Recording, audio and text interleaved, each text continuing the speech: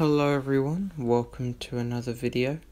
I am Elliot from Elliot's Wargaming Tutorials and today we're going to be reviewing and painting uh, Mirkwood Armoured Elves.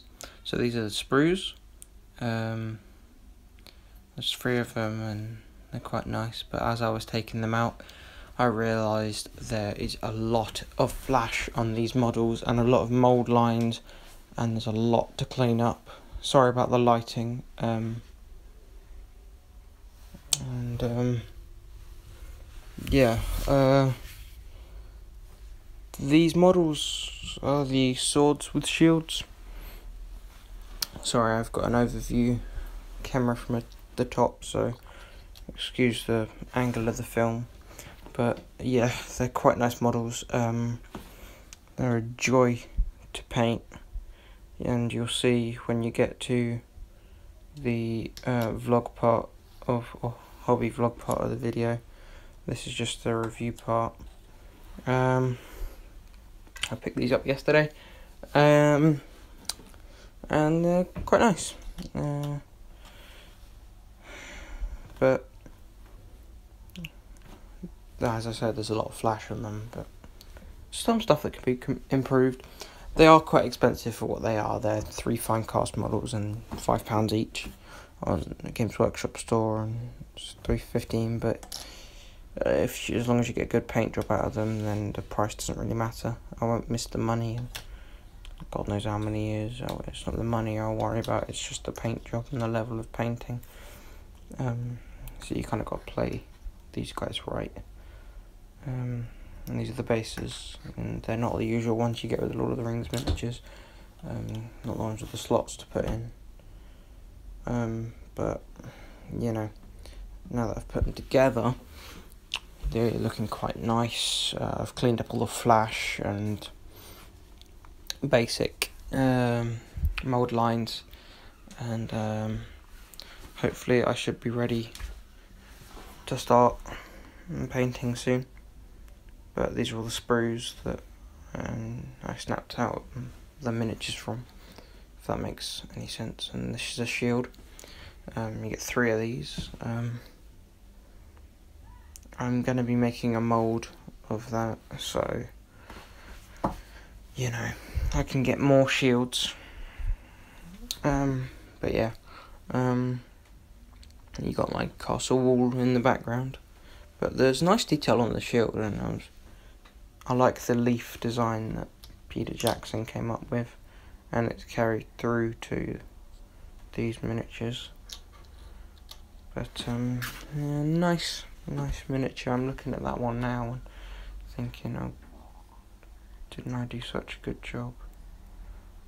But then again there's places where you can do better. But um, yeah it's just all about skill and I'm not the best at painting and sometimes I don't see my errors and they look a bit weird. I just dropped one but uh, sometimes they come out looking quite nice. But yeah, um, I was going to go ahead and tell you the points and that but I couldn't really tell you. I don't know. I'm going to try and I'm trying to get um some Mirkwood Palace Guard because they have the bodyguard rule, and then I'll get Thranduil, and then I'll clone these miniatures and make moulds of them and make sure they turn out quite nice. Um, but I've still got another shield to paint and wash because that one's in mould and that's Haldir and that's a similar paint scheme to what I'll be doing. Um,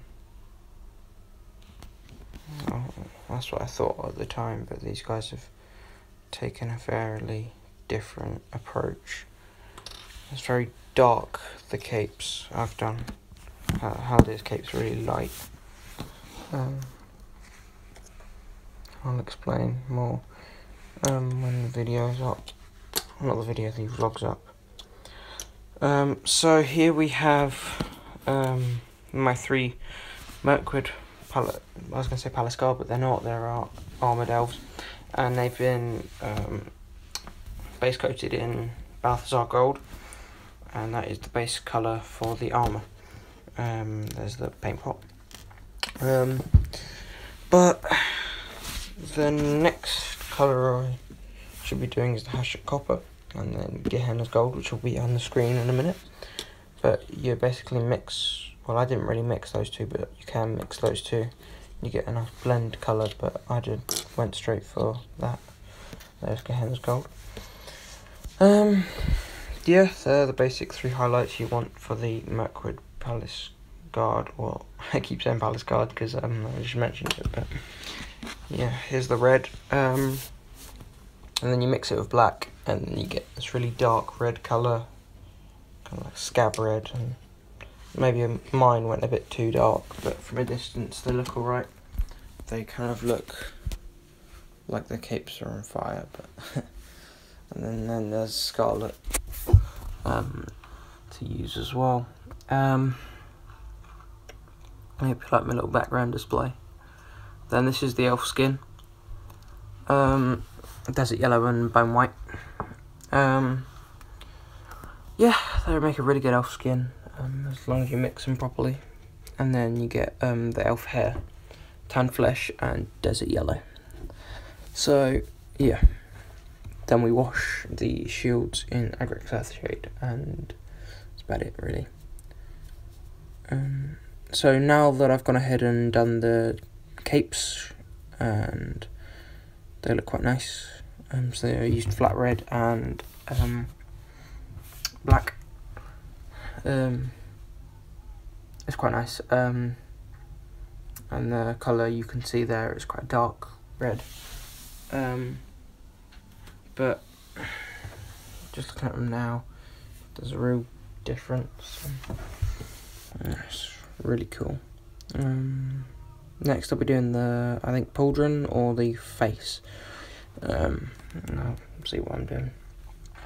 Um, but these models are starting to look really nice.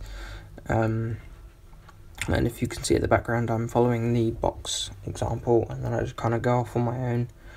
But yeah the next one's the pauldron and that's a brown. So stay tuned. Um, then we're going to do the face. There's the pauldron done um, and now we're going to be moving on to the face um, yeah uh, the models are increasing in what's the word? Awesomeness. Uh, if you know what I mean. Um, just a quick mention uh, the guys that got me into these Mirkwood um, army is the GBHO podcast. Um, you know, GBHO Damien uh, gave me inspiration for this project um, and uh, got me into the Warhammer Lord of the Rings style thing, and the other one is the OHA SBG, which is the Ontario Hobbit Adventure. I think that's how you say it.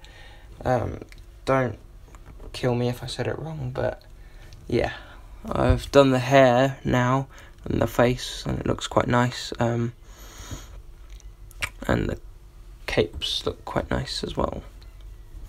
But um, I did highlight the cape I don't know whether I should have, but because I think they look quite nice there, but um, I think they look quite nice now as well. Um, I get stuck on highlighting because uh, I'm what you might call kind of a beginner, but I don't really know how to highlight um, too good, um, if that's even a word. But yeah, uh, hopefully you are enjoying this, and I probably still have to do that silver, although I might leave it um, I know I did it on the shield, which I'm looking at right now. But, um, yeah. Uh, I don't know. Uh, stay tuned, and I think I'm going to do a highlight on the gold of the cape. Okay, see in a second.